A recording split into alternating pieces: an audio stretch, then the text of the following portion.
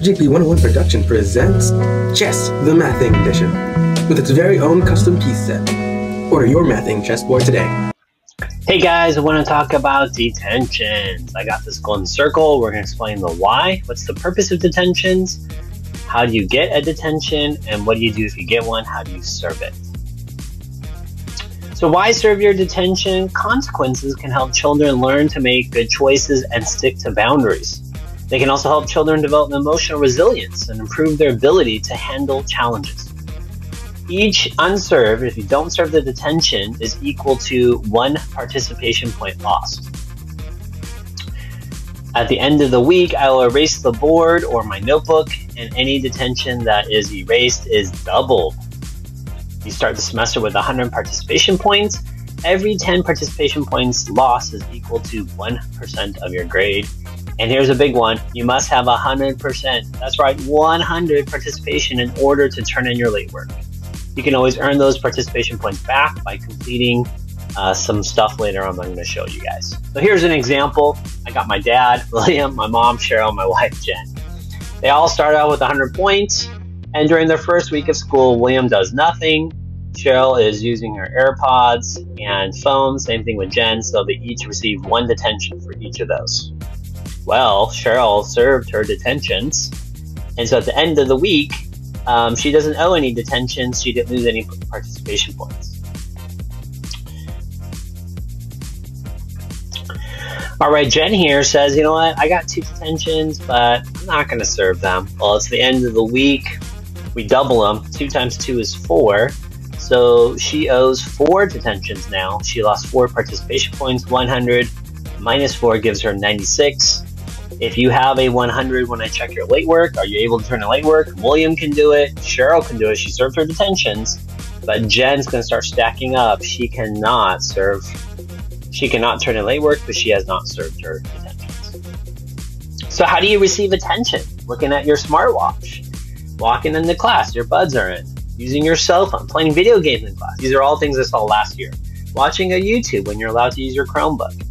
You know, most of the time we're not using your Chromebooks, but if you have it out and I didn't allow you to, you get detention, texting in class, hey, talking when you're not supposed to, putting on makeup, or eating in class.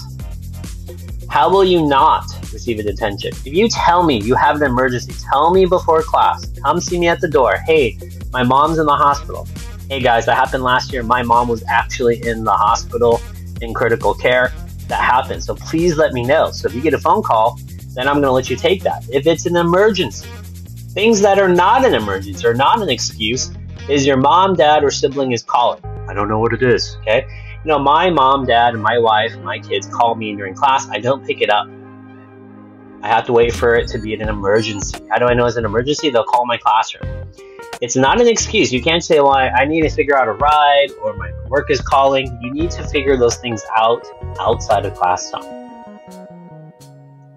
Okay, so how? How do you get a detention? Well, there's two things. Most likely phone, watch, electronics, earbuds, etc. What we learned from the past one. I like playing this game. It's called Marvel Puzzle Quest. And this guy, War Machine, he has something called a scan. So I have a superpower. My superpower is I am able to scan the room and I know when you're off task. Okay. I think you'll realize that I'm really good at this. When you get a detention, it affects two things the individual and the class. The first time, you'll get a detention, and then the second time, you'll also get a detention, but most likely it's your phone. So I'll say put your uh, phone in the cell phone parking lot. It's those numbered pockets in the back of the class, or turn it off and put it in your backpack. At the same time, so if you use your phone once, um, the class will also lose some privileges. So that's called my beep beep rule. We'll take a look at that. So here's the beep beep rule. You get, um, this is per class, so each period, and you'll know because I'll put a tally. So for that week, we'll usually take quizzes and tests on Fridays, and we'll have a tally. If you guys get three beeps in a week, on one day, someone three people are using their phones, you guys will lose the privilege of open notes for a quiz or a test in a whole week, if you get five tallies, five lost privileges of, or five beeps, I call them, you'll, you can't use your formula sheet. All the formulas, how to do an equation. Seven, you guys will not be able to use, the privilege of a calculator. Next assessment, if you get nine in a week, You get a graded pop quiz. As soon as I see someone using the phone for the ninth time in the week or earbud or something, I'll just say pop quiz, pull out a piece of paper. And if there's 11 of them, you'll lose the privilege of a partner, group, or class assessment. Sometimes we take it as a whole class, or a group of four, or a partner, you'll lose that privilege. Okay, some questions and answers. How do you know you received detention? I'm going to say your name, and then you got a detention. So I'll say, like, hey, Brooklyn, you got your phone out, detention. Um, I'll say, Kaya, earbuds, detention. If you're a repeat offender, I'll use hand signals like in football or the Olympics. The referees will kind of show a hand signal. So you'll know what it is because you keep doing it. My goal is to keep teaching and not being distracted. How do you serve a detention? I got this list on the next slides. And why should you serve them? Because if you don't serve them, it hurts your grade and you can't turn them over. Okay, what you need to do to clear a detention. You can pick any of these. So if you owe one, you can do a multiplication table. I'm going to show you guys what it is. It's the most famous one. You could do this outside of class. You should not be doing in class. You can do it at lunchtime or at home. You can also do the old school. Just come with me before school, after school, or lunchtime. You're not using electronics. You're not sleeping. You can attend one of my clubs, Rebel Surprise Chess Club, Future Rebel Educators. You can give me an unused bathroom pass. Try to save them. There'll be extra credit. You can help clean up our campus. You can write a thank you card, letter, or email to an adult. Um, just include me on the email and I'll see it. Uh, you can write an essay in regards to your offense. So, for example, maybe it's respect. Um, and you can, there's a poster and you can check that out. Um, you can sit down with me and do a mock capstone interview. This is what seniors do. So that's pretty much like a 20 minute interview anyway, so I don't count that as a detention. Let's say you got like 10 detentions, you can copy something called the detention essay. You can go here to my website and click on that.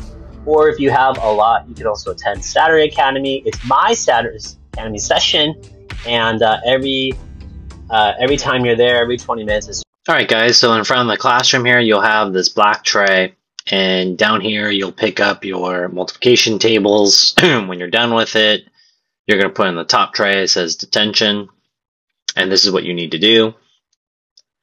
You're going to fill out both sides of the multiplication table. You're going to multiply 9 times 9 is 81. Check first, make sure you don't owe any detentions. How do you know? You can look under e-cadence under participation, or you can ask me about the detention book. You'll write your first name, last name, your period. Write the word detention. You can write what it was for, like gum, uh, earpods, phone, uh, video game, something and then you put it back in that tray. Hope that was helpful. We'll see you guys. Mr. really got me out here writing songs. I know it's my fault for not turning my work in time. He doesn't let you use your phone in class. Might have to do some surveys to see who else had to do with this. Might have to do some more multiplication charts just so I can get a detention. Just don't get caught using your phone cause you might have to serve more than one. It's not like doing time in jail, so so you might have to chill in class and play some chess though.